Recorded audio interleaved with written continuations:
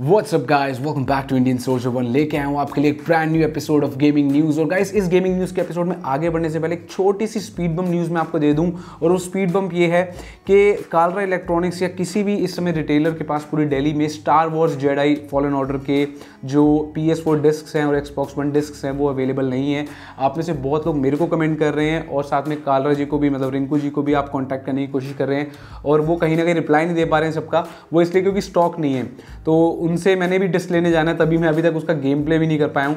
तो होपफुली आज रात को मतलब जब तक आप ये गेमिंग न्यूज़ का एपिसोड देख रहे हो, मेरे हाथ में डिस्क आ चुकी होगी। और अगर आ चुकी होगी तो मैं उसको इंस्टाग्राम पे पोस्ट कर दूँगा। इसलिए जाके जल्दी से मेरे को इंस्टाग्राम पे फॉलो कर लो। मेरा जो यूज़र नेम है, इस समय आपको स्क्रीन पे दिख रहा है इंडियन सोल्जर अंडर वन और साथ में जो उसका गेम प्ले है, वो होपफुली अगर मेरे पास डिस्क आ जाती है तो कल से शुरू कर देंगे। तो गाइज़ काफ़ी लाइक्ड की गई गेम है, ये काफ़ी ज़्यादा इसको अच्छा रिस्पॉन्स मिला है। तो इसलिए आई वांट कि आप लोगों में से जो भी खेलना चाहता है, थोड़ा सा वेट और कर लो। और गाइज़ इसी के साथ शुरू करते हैं गेमिंग न्यूज़ का ये एपिसोड नंबर 147 लेट्स गो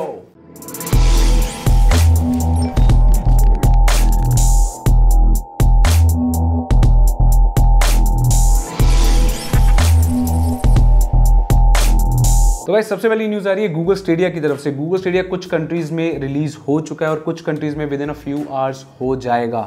अब इनिशियल रिपोर्ट्स जो आ रही हैं, वो इसको लेके ये आ रही हैं कि भाई इट्स नॉट वर्थ इट मतलब अभी तक जो भी रिस्पॉन्स आ रहे हैं जो भी रिव्यूअर्स हैं गूगल स्टेडिया को जो यूज़ कर पा रहे हैं दे आर सेइंग भाई it was not worth the wait यानी कि जो बताया गया था, जिस तरह से ड्रीम्स दिखाई गई थी कि स्ट्रीमिंग गेम स्ट्रीमिंग जो है स्ट्रीमिंग सर्विसेज़ जो है, वो ही फ्यूचर होने वाला है गेमिंग का। अभी तक तो इसको देखने के बाद ऐसा कुछ लग नहीं रहा है। साथ में मैं आपको बता दूँ कि एक तो स्ट्रीमिंग इश्यूज़ आ रहे हैं बफरिंग इश्यूज़ आ रहे हैं गेम्स में, और दूसरी चीज़ ये कि सिर्फ़ वन आर के गेम प्ले के बाद, अब गूगल स्टेडिया को टारगेट किया गया था फोर के गेम प्ले के लिए। तो वन आर के गेम प्ले के बाद जो डेटा यूजेज निकल के आ रही है, वो है करीब 20 to 25 giga bytes 25 gigabytes पर आर आपको यूज़ करना पड़ेगा अगर आपको 4K गेम प्ले करना है गूगल स्टेडिया पे। मतलब जस्ट इमेजिन इंडिया में स्पेशली अगर दिल्ली के आसपास कोई रहता है, वो तो शायद इसको यूज़ कर भी ले, लेकिन मेट्रो सिटीज़ को छोड़ के, यानी कि दिल्ली कैलकटा चेन्नई और मुंबई, इन चार सिटीज़ को छोड़ के बाकी सब जगह पे मुझे लगता है कि 50 एम की स्पीड भी इतनी कॉमन होगी। तो मेरे ख्याल से गूगल स्टेडिया जैसी चीज़ें अभी तक डेवलपिंग कंट्रीज़ यानी कि इंडिया जैसी कंट्रीज़ के तो बिल्कुल भी नहीं है। अब एस्टेब्लिश कंट्रीज़ के अंदर से भी इतने ऐसे रिव्यूज़ आ रहे हैं तो मैं क्या ही बोलूँ? आप खुद सोच लो कि क्या Google Stadia worth the wait है या नहीं। गाइस दूसरी न्यूज़ आ रही है वेल्व कॉरपोरेशन की तरफ़ से। जी हाँ गाइस वही कॉरपोरेशन जो स्टीम को चलाती है स्टीम लाइब्रेरी ऑन पीसी जो आप यूज़ करते हैं तो वेल्व जो उसके पीछे की कंपनी है, वो जानी जाती थी in the early two thousands for half life game तो हाफ़ लाइफ गेम जिन लोगों को नहीं पता, मैं बता दूँ, बहुत ही क्रिटिकली एक क्लेम गेम सीरीज़ है, जिसके दो पार्ट आए थे मेजरली अब उसके थर्ड पार्ट का वेट सालों से, सदियों से, सौ, दो सौ सालों से हो रहा है, लेकिन फाइनली यहाँ पे हाफ़ लाइफ की तरफ़ से एक नया ट्वीट आ गया वेल्व की तरफ़ से एक नया ट्वीट आ गया कि हाफ़ लाइफ एलेक्स जो एक नया टाइटल है, वो बहुत जल्दी हम उसको रिलीज़ करेंगे. अब कौन से प्लेटफॉर्म पे होगा, नहीं होगा, ये नहीं पता. मेरे ख्याल से Xbox One P S four और स्टीम पे ही होगा। ये एक वी आर गेम होने वाला है और जो एलेक्स है that is A L Y X जो इसका नाम है that's not A L E X तो ए एल वाई एक्स जो गेम है हाफ़ लाइफ एलेक्स अभी हाफ़ लाइफ थ्री होगा या नहीं, या फिर एक नया कोई बीच का चैप्टर होने वाला है, वो नहीं पता।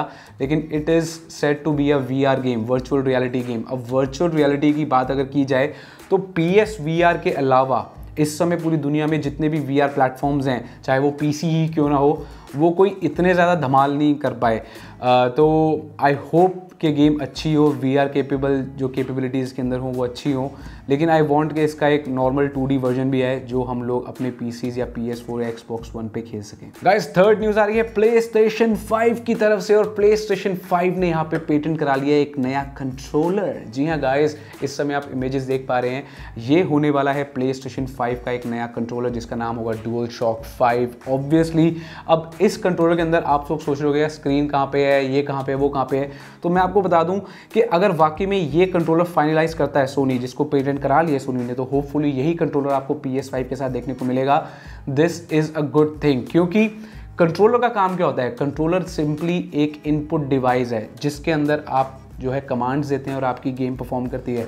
तो आई होप कि इस कंट्रोलर के अंदर जो पहली चीज़ ये है बैटरी लाइफ बहुत अच्छी हो साथ में जो हैप्टिक फीडबैक जो लेके आ रहे हैं वो भी बहुत अच्छा हो। और साथ में सबसे बड़ी बात कि इसके अंदर एक हेडफोन जैक होना चाहिए।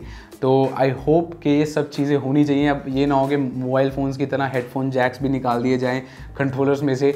तो आई होप कि हेडफोन जैक इस बार भी रहेगा प्ले स्टेशन फाइव के कंट्रोलर में। और गाइज़ नेक्स्ट न्यूज़ जो है वो Star Wars Jedi Fallen Order को लेकर है, जिसके बारे में मैंने अभी आपको बताया कि उसका स्टॉक दिल्ली में तो अवेलेबल नहीं है। लेकिन मैं वैसे अगर गेम की बात करूँ तो क्रिटिकली एक्लेम्ड गेम है। जी हाँ गाइज़ इसको यूनिवर्सल एक्लेम मिला है और इसका मतलब ये होता है कि भाई हर कोई is falling in love with this game हर किसी को ये गेम पसंद आ रही है।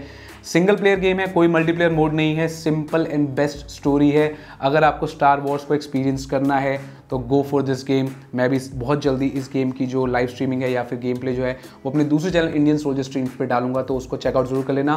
लिंक डिस्क्रिप्शन में है। और guys last but not least मैं आपको बता दूँ कि एक रेडिट पे फाइट चल रही है regarding next gen consoles Xbox Scarlett और प्ले स्टेशन फाइव को लेकर। वो फाइट ये है कि नेक्स्ट जेन कॉन्सोल की सक्सेस पता किस चीज़ पर डिपेंड करेगी? वो इस चीज़ पर डिपेंड करेगी कि जो बड़े गेमिंग स्टूडियोज़ हैं कौन सी कंपनी माइक्रोसॉफ्ट या सोनी में से उनको अपनी तरफ़ खींच लेती है स्टार्टिंग में? फॉर एग्जांपल जैसे जी टी सिक्स के रूमर्स आते हैं कि G T six PlayStation five पे एक्सक्लूसिव होगी फॉर अ मंथ और फॉर अ ईयर तो अगर ऐसी स्ट्रेटजी सोनी या माइक्रोसॉफ्ट इंप्लीमेंट करते हैं, जो बड़े बड़े गेमिंग स्टूडियोज़ हैं तो अगर वो बड़ी कंपनीज़ को अपनी तरफ़ खींच लेते हैं तो आई थिंक ये चीज़ उनके लिए वर्क कर सकती है।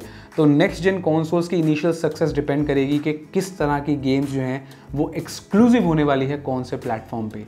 तो देखते हैं जब नेक्स्ट जेन कॉन्सोल्स आएँगे प्ले स्टेशन फाइव और एक्सबॉक्स कार्लेट या जब वो प्रॉपर रिवील हो जाएँगे अच्छी तरह से स्टेज के ऊपर, जब हम, हमें उनका कॉन्सेप्ट डिज़ाइन देखने को मिल जाएगा ऑफिशियल कंपनीज़ की तरफ़ से, तब ये चीज़ें क्लियर आउट हो पाएँगी और ज़्यादा। But that's it for today guys अगर आपको ये गेमिंग न्यूज़ का एपिसोड अच्छा लगा हो तो लाइक कर देना। कमेंट कर देना नीचे अगर मैंने कोई मेजर न्यूज़ मिस कर दी हो जो आपको पता है और मुझे नहीं। और साथ में चैनल को सब्सक्राइब मिलते हैं नेक्स्ट वीडियो में गाइस टेक केयर बाय